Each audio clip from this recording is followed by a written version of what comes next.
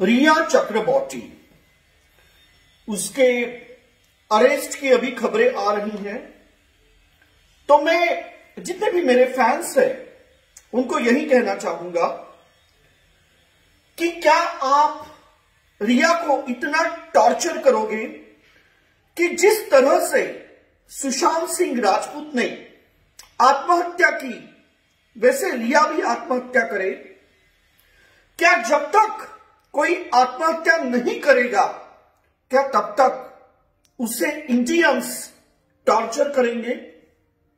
मैं मानता हूँ कि रिया चक्रवर्ती ड्रग्स लेती थी, और यह बात सच है कि इंडस्ट्री में जितने भी लोग हैं 99 परसेंट वो सब ड्रग्स लेते हैं। मैं मानता हूँ कि मैंने भी ड्रग्स लिए हैं से दस करोड़ मैंने ड्रग्स में खर्च किए हैं। लेकिन रिहेबिटेशन सेंटर में जाकर मैं अब पवित्र हो चुका हूँ।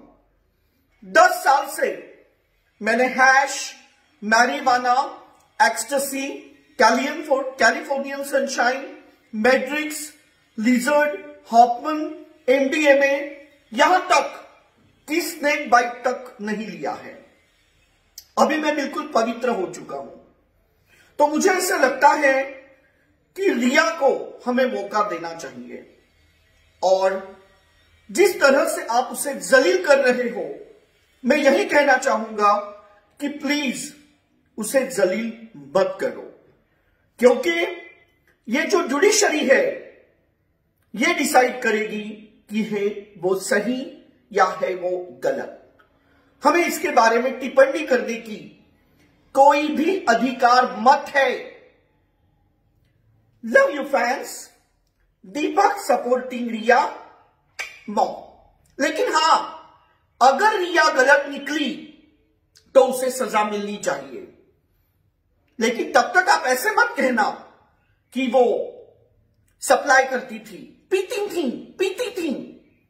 टेंशन कम करने के लिए पीती थी।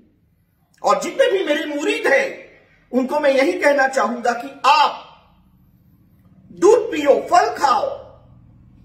जो मैंने गलती की है दस बारह करोड़ की, जो मैंने आग लगा दी ड्रग्स में, वो आप मत करो, क्योंकि वो बुरा है।